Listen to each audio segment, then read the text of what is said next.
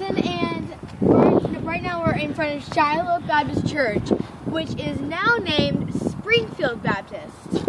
Now, as you can see, we're walking around the front.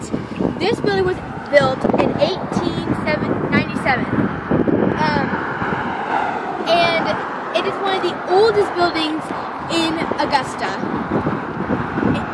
So right now we're walking over to the historical marker, which tells you all about it. As you can see, the gravestones right here are representing the people who have died here. It's not only the African American orphanage, or it used to be that.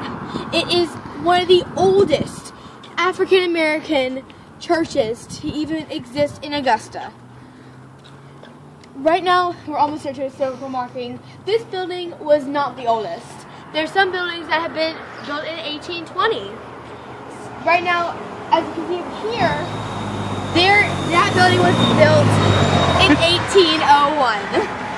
Now, you might think, oh, Emerson, this is a boring presentation. Oh, wow.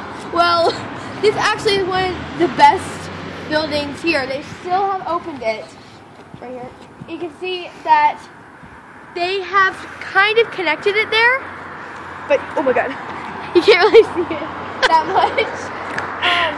So it looks like you can have a doorway in here, but really you cannot because it's an, an historical marking.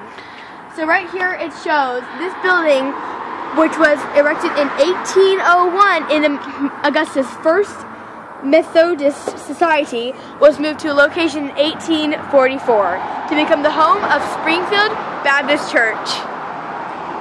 And that's basically the facts right now. And as you can see, it's a very beautiful church. People can still go to it, which is amazing, but they cannot go in this one because as you can, as you can see, it's falling apart. Um, the wood is very old. The painting has come off. Well, some of it has. Now, this isn't the orphanage. There, there's another building that is the orphanage, but this one isn't. This is Shiloh Baptist Church, the first ch church. Now, I'll tell you something about the orphanage. Sorry, that's all the time we have for right now. I just noticed because I have to go back to my dad's. but um, in the next video, I will show the um, orphanage and tell you all about it.